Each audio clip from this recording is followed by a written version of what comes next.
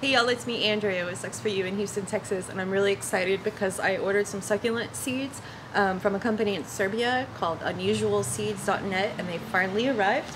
And there's so many amazing little packages. Just have a look at that really quick. Oh, these little tiny Ziploc bags labeled so carefully. a Bunch of different tiny little seeds in there. Some of them are just the size of dust, and then the others, they're a little bit bigger, thank goodness. Um, there's all kinds of lithops mixes. There's a conophytum mix. This is a Rebutia. Um, I did put a poll on my YouTube community channel page thing um, to see what you guys wanted to watch me pot up. And so we're definitely going to be doing the lithops. Um, I'm going to be doing the Dioscorea. And then I'm also going to do, hmm, I think the Astrophytum mix and then maybe some conophytums, conophytums too. Okay, I'm really excited about these. I've only started aloe, cactus, um, I'm trying to think of what other seeds I've started. Oh, euphorbia. Um, but there's like Echeveria laui in here. I've never started Echeveria seeds. Maybe I need to do some of those too. Normally when I'm starting seeds, I don't really go through the trouble of sterilizing the soil, but I am going to take that extra step this time. Um, kind of a, a low a lo-fi sterilization, I guess you'd say, just using boiling water and um, getting the trays set up and ready to pot. And uh, once that's done, we're going to start sowing the seeds. And um, in a couple of weeks or so, we should see some kind of progress, hopefully. And I'll do a little follow-up video. Um, so just be sure you subscribe to this channel so once I get that update video ready, um, you won't miss out. So right now I've got boiling water and a bucket of dirt. And I'm going to pour that all the way over the dirt Just kind of let it soak, let it get in there. I really don't want to bake this in my oven or in my microwave because smell can get really crazy. So over here we're just soaking the containers we're going to be using in hot water with some bleach. Um, they've been here for a minute, so I'm going to go ahead and rinse them off and we'll be ready to start potting our seeds. I'm going to add a little more, boiled some more water. I'm going to go ahead and add that in there just for good measure. I'm going to be doing some pretty sensitive seeds. I'm going to let that soak. I'm going to dump it all out and let it drain. Hey, Tiger! Tiger's to help. I added holes to the bottom of the little yogurt cups um, using a little X-Acto knife. Just poke it down in a little bit and then start twisting it and it's going to make a hole and you want to make sure you do it from the inside out so that the holes um, the excess plastic gets pushed out instead of up and in or else that'll just trap the water in and we'll have a way to get out. Now to strain the water out of that soil, um, we could just dump it out and let it dry somewhere, but um, I have cut a pillowcase in half and put it down inside of a bucket, and I'm just going to dump it in there, and it's going to be like making a big uh, pour over coffee, except for we're going to be using dirt.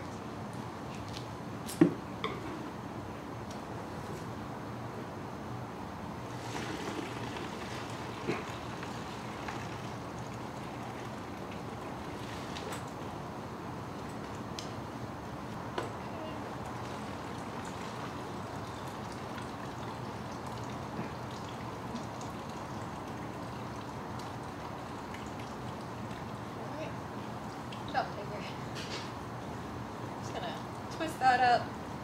I've got it on this rack right here over the grass, so it doesn't matter if it gets wet. And I'm just gonna dump this water out. This tiger likes drinking the grossest water sometimes when he's got perfectly clean stuff right there. Okay, so this is gonna strain and cool, and then it's gonna be ready for us to pot up. It's still pretty hot. Okay, so we've got our dirt and we have our seed trays ready and I'm going to start filling that up and I'm really going to make it easy just scoop it and fill it in like that pat it down. Okay, we want to leave some room at the top so when we water, um, it doesn't flood the container and everything comes running out. Been there, done that. And we're going to fill the plug tray. That's what those are called, plug trays. Um, I'm actually going to go ahead and put a layer of some drainage material in the bottoms of these, just because they are kind of deep. They're good, about that deep, and a lot of these seeds only need about that much dirt. I'm just going to use a little mixture of Turface and pumice and put a little layer down in there.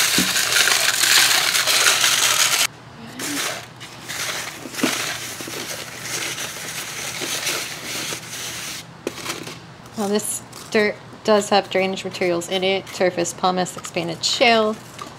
So I'm to pack it down in there pretty well.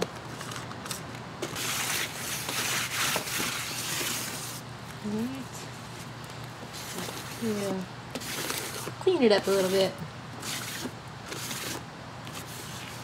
That looks awesome. Now we are ready to pop this up. Let's get our seeds. So now all that's left to do is to get some of these babies in the dirt, cover them up, tuck them in, put them under the grow lights, and wait. um, I think first of all, let's go with the Dioscoria Dioscorea peas, tipes, types. We'll just call it types. Now these form a really amazing caudex, but of course it's going to take years. Um, it's supposed to form a little caudex maybe about an inch within the first year or two, and you leave them buried underground and then um, pull them up after a few years to expose the caudex. And these have what's called, they said, um, I was looking at the instructions on the website, these little wings. Luckily, it's not a windy day today. Um, we want to go ahead and pull those off. So I'm going to get a little container so nothing flies away. I'm just going to peel off that little extra part of the pod. And there's not that many in here. So I think what I'm going to do is use one of the little yogurt containers that I have set up. Should be easy to keep up with. And then we'll be sure to label the containers. We got one. You don't want to put the make the holes too deep. Maybe maybe about a quarter of an inch or so. These are bigger seeds. Thank goodness. I'm going to just drop it down in the hole. Do that again right here. Let's do one in the middle. Drop that one down in the hole. And then one more right here.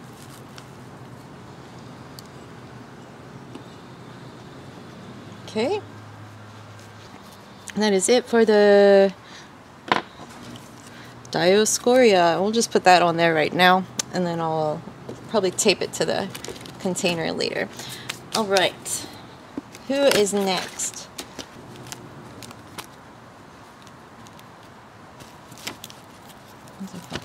Mix. Let's see, how about Oh my gosh, look how tiny these seeds are. Let's go with the conophytums, and we're going to do those in the other little yogurt container. I think it might be easier to put these on a piece of paper first and then do that. Let's see. I'll do it over the pot just in case we get a breeze before then. But I'm going to take, open the bag, okay? And I'm going to sprinkle them on this paper. Can y'all see that? Yikes. Okay. Here we go.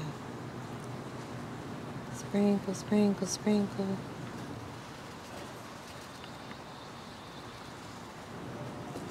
I'm just pushing that down a little bit, hoping that they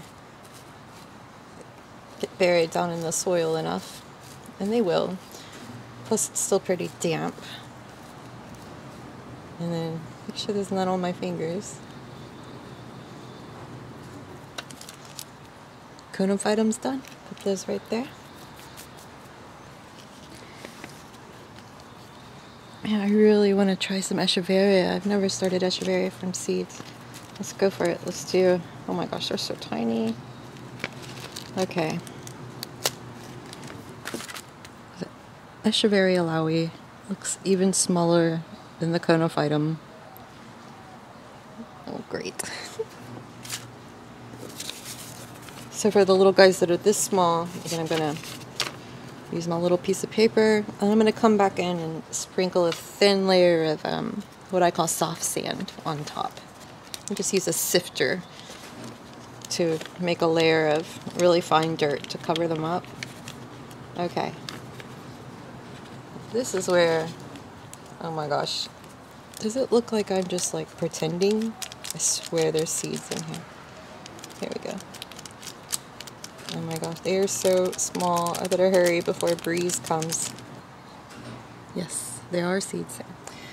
Okay, and then let's tap a few into here. And then we'll tap a few into here. And then we'll tap a few into here. What else should we do? I'm going to save uh, this top row over here for lithops, so let's just go ahead and do that now. Lithops mix 20. It's actually bigger. The lithops seeds are bigger than the echeveria.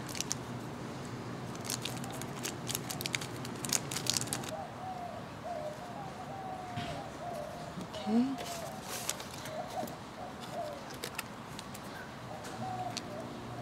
So one, two, three, four lithops. I think I'm going to get a pencil and make a little note on there. Lithops. Lithops. Lithops. Okay. Let's do the astrophytum, and then I think I'm going to do these Sinningia after that. Mm-hmm.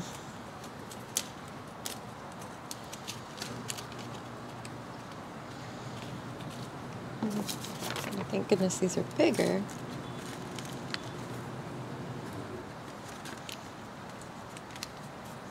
See this? How tiny that is. I think I'm going to put three in each hole. Two, three. Let's do four, just in case. I'll go ahead and put one more in here. I'm going to put these back in the bag. Oh, these might be the smallest yet. Oh my gosh. This is not something to do outside on a windy day. Luckily it's not windy at all. Wish me luck. It looks like about four in there. Oh. I think we're just gonna get this three. There. okay. And that was the Sinningia. I'll put that here. I feel like I should just do another lithops mix.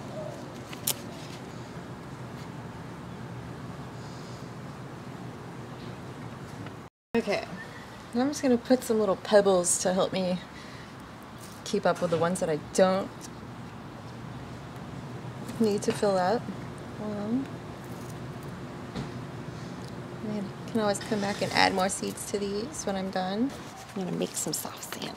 I'm just gonna sift out the rocks and apply a really thin layer over the tops of the seeds. Start with this guy.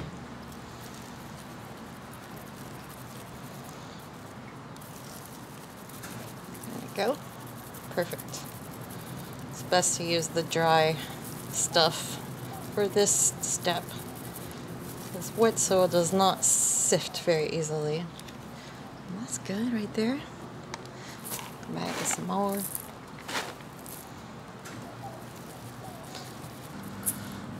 Now, it's very humid in Houston. Even right now, it's very humid, but I still am going to have to um, cover these with some type of plastic to keep them moist and you don't want to let to let the soil dry out um,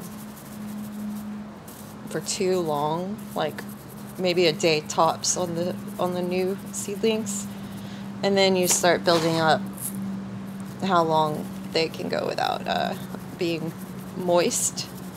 But after you germinate, most of the times, most of the plants after germination, you can remove any plastic covering, so they start getting tougher and get used to, you know, being succulents and not wet all the time.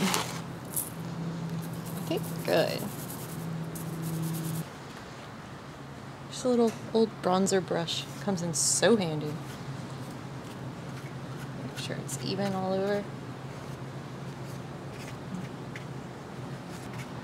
And then we'll use a mister to moisten the top layer so we don't disturb the little seeds down in there.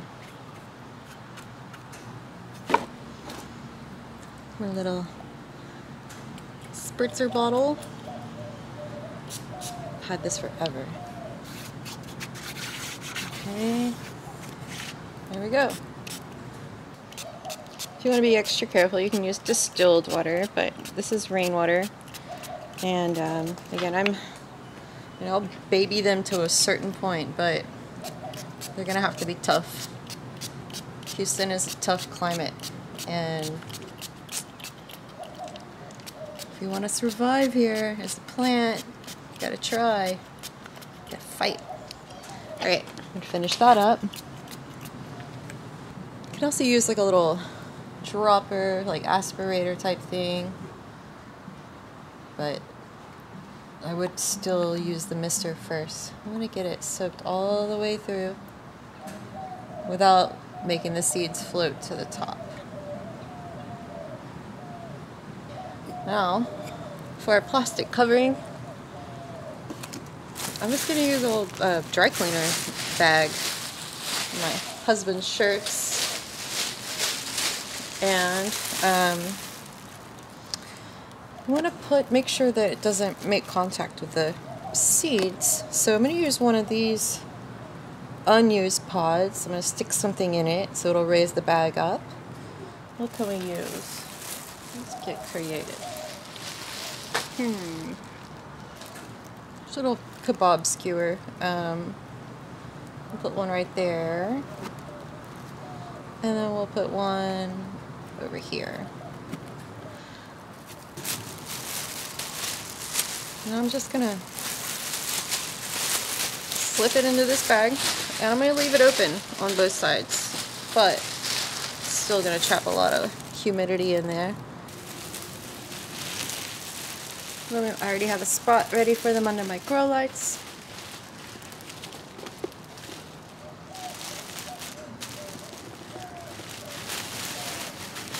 We'll put them there now. And there we have it. And I'm going to try not to look at these 20 times a day or else it'll make it just seem like forever for them to germinate. But I do have to water them and keep them moist. Probably um, let them get settled into their little um, pods for a couple of days and then give it a good watering. And I might even water from the bottom up. Um, I'm really excited about these. I have a lot of other seedlings that have been doing really well all these guys. These are all my cactus, different cactus seedlings, and I love those. And I forgot I did start some yucca. That's yucca. And then the euphorbia, it was a mystery seedling. It just popped up in a pot. In fact, it popped up in this pot. He's just such a fun little thing. Let's see, can you get it? You see that little guy? Oh my gosh. Euphorbia polygona. This is a lot of fun.